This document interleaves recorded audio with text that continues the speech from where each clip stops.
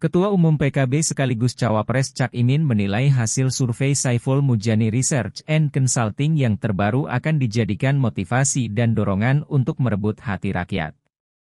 Adapun dalam survei SMRC terbaru, mayoritas pemilih PKB disebut mendukung bakal calon presiden Partai Gerindra, Prabowo Subianto dengan Menteri BUMN Erick Thohir.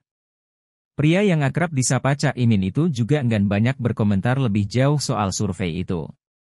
Survei terbaru SMRC memperlihatkan dukungan pemilih PKB mayoritas bukan ditujukan buat ketua umumnya yakni Muhaimin Iskandar.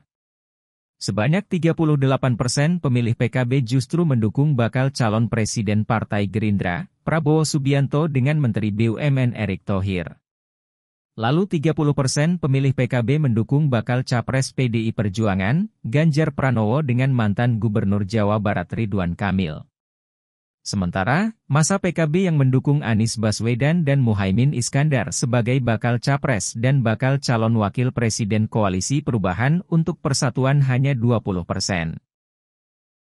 Terima kasih sudah nonton, jangan lupa like, subscribe, dan share ya!